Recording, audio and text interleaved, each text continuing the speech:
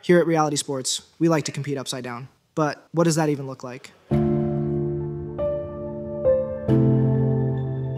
I think every stage of life is a place where you can show someone God's love. Through the reality sports model of being able to integrate our faith and our sport is a huge component that we're not separating into Sunday and every other day of the week is for my sport, but using every opportunity to integrate our faith into whatever we do.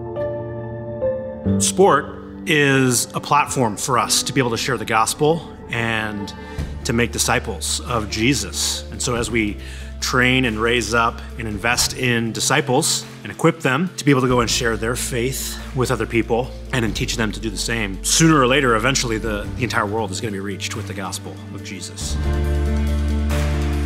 One of the ways that we're intentional about wanting to turn the world upside down is we recruit interns to come in for 10 weeks. And the goal is, is that we are teaching them everything we know about the sport, about what it means to follow Jesus, with the hope that they would then take the things they've learned and use them to go and make disciples in a different context or maybe even with us here at Reality Sports.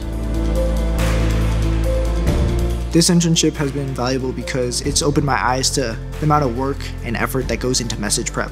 I feel more equipped from this internship to handle like a Bible study situation where I can look at a text, observe it, interpret what it's really saying and not what I think it's saying, and explain that to someone else. I don't feel like I could really do that before this.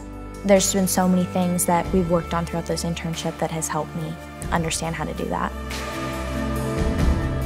An internship is more than an internship, it's really life on life. These interns get to spend so much time together. They're really learning what it looks like to live in a way that's different. It's mentorship, it's discipleship, it's life on life. This is what it looks like to follow Jesus and serve people. No matter where they go, within their family, within their school, within their church, whole communities can be changed.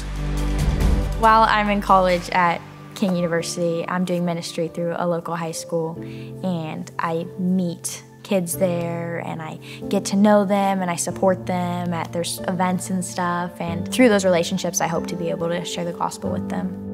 I'm heading out in January to Infantry BOLC, and I'll be there for about five months, and then I'll head out to Ranger School after that. What I've learned in this internship, I'll take wherever I go.